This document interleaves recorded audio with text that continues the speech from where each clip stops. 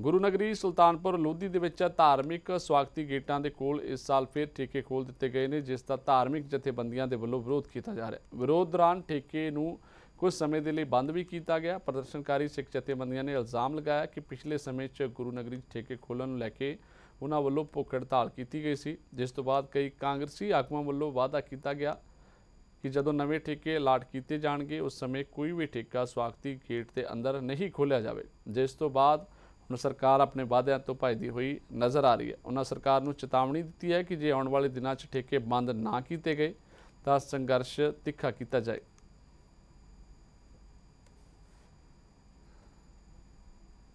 ਆਪਾਂ ਸੁਣਦੇ ਰਹੇ ਹਾਂ ਵੀ ਸਰਕਾਰਾਂ ਲੂੰਬੜ ਚੱਲਣਾ ਕਰਦੀਆਂ ਆ।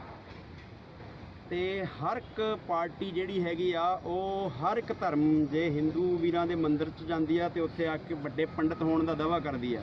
ਜੇ ਮੁਸਲਮਾਨਾਂ ਭਰਾਵਾਂ ਦੀ ਮਸਜਿਦ 'ਚ ਜਾਂਦੇ ਆ ਤੇ ਉੱਥੇ ਮੌਲਵੀ ਹੋਣ ਦਾ ਦਾਵਾ ਕਰਦੇ ਆ, ਜੇ ਗੁਰਦੁਆਰਾ ਸਾਹਿਬ 'ਚ ਜਾਂਦੇ ਆ ਤੇ ਵੱਡੇ ਸਿੱਖ ਹੋਣ ਦਾ ਦਾਵਾ ਕਰਦੇ ਆ। ਇਹ ਪਾਵਨ ਪਵਿੱਤਰ ਚਰਨ ਛੋਹ ਪ੍ਰਾਪਤ ਧਰਤੀ ਹੈਗੀ ਗੁਰੂ ਨਾਨਕ ਸਾਹਿਬ ਦੀ, ਇਹਨੂੰ ਬੜੇ ਲੰਮੇ ਸਮੇਂ ਤੋਂ ਪਵਿੱਤਰ ਸ਼ਹਿਰ ਦਾ ਦਰਜਾ ਇਹਨਾਂ ਨੇ ਦਿੱਤਾ ਹੋਇਆ ਆਪਦੀਆਂ ਚੰਦ ਵੋਟਾਂ ਦੀ ਖਾਤਰ।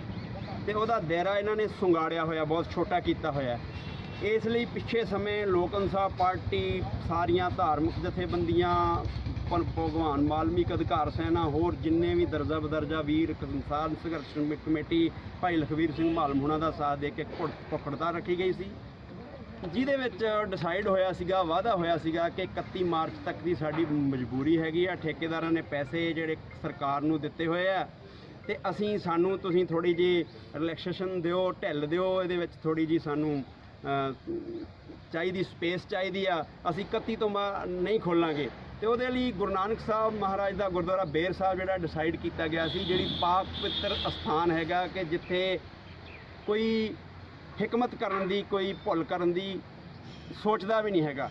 ਹੈਰਾਨਗੀ ਹੋਈ ਆ ਕਿ ਵੱਡੇ ਵੱਡੇ ਚਿਹਰੇ, ਇੱਥੋਂ ਦੇ ਹਲਕਾ ਵਿਧਾਇਕ, ਸਾਬਕਾ ਮੰਤਰੀ ਇੰਦਰਜੀਤ ਸਿੰਘ ਜੀਰਾ ਤੇ ਹੋਰ ਕਾਫੀ ਲੋਕ ਜਿਹੜੇ ਹੈਗੇ ਸੀ, ਉਹ ਅਰਦਾਸ ਕੀਤੀ ਗੁਰਦੁਆਰਾ ਬੇਰ ਸਾਹਿਬ ਦੇ ਸਾਹਮਣੇ ਕਿ ਸ਼ਹਿਰ ਦੀ ਹਦੂਦ ਵਿੱਚ ਠੇਕੇ ਨਹੀਂ ਹੋਣਗੇ। ਅੰਦਰ ਜਾ ਕੇ ਅਰਦਾਸ ਕੀਤੀ, ਅਰਦਾਸ ਤੋਂ ਵੀ ਅਸੀਂ ਭਗੌੜੇ ਹੋ ਗਏ ਹੈਗੇ ਆ ਅਮਤੇਜ ਸਿੰਘ ਚੀਮਾ ਸੀਗਾ। ਸ਼ਹਿਰ ਦੇ ਕਿੰਨੇ ਮੈਨੂੰ ਨਾਂ ਨਹੀਂ ਯਾਦ ਕਿੰਨੇ ਕਿਹੜੇ ਪ੍ਰਧਾਨ ਨੇ, ਸ਼ਹਿਰ ਦੇ ਕਿਹੜੇ ਕਾਉਂਸਲਰ ਸਾਰੇ ਨਾਲ ਸੀਗੇ। 30 35 40 ਬੰਦੇ ਹੋਣੇ ਮੇਰੇ ਖਿਆਲ ਸਰਕਾਰ ਦੇ। ਤੇ ਉਹ ਬਸ ਉਹਨਾਂ ਬੰਦਿਆਂ ਨੇ ਅਰਦਾਸ ਕਰਕੇ ਤੇ ਉਸ ਤੋਂ ਬਾਅਦ ਇੱਥੇ ਉਵੇਂ ਵਿਕ ਰਿਹਾ ਸਮਾਨ। ਤੇ ਅੱਜ ਮੈਂ ਇੱਥੇ ਐਲਾਨ ਕਰਨ ਵਾਸਤੇ ਆਇਆ। ਭਾਈ ਸਾਹਿਬ ਨਾਲ ਨੇ, ਸਾਰੇ ਸਿੱਖ ਸਿੰਘ ਨਾਲ ਨੇ।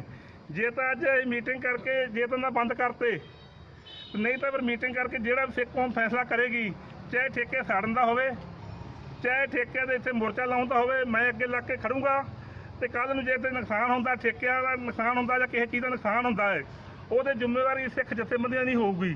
ਉਹਦੇ ਜ਼ਿੰਮੇਵਾਰੀ ਇੱਥੋਂ ਦੇ ਸਿਵਲ ਪ੍ਰਸ਼ਾਸਨ ਤੇ ਪੁਲਿਸ ਪ੍ਰਸ਼ਾਸਨ ਦੀ ਹੋਊਗੀ, ਕਿੰਨਾ ਵਾਅਦਾ ਕਰਕੇ ਮੁੱਕਰੇ ਨੇ।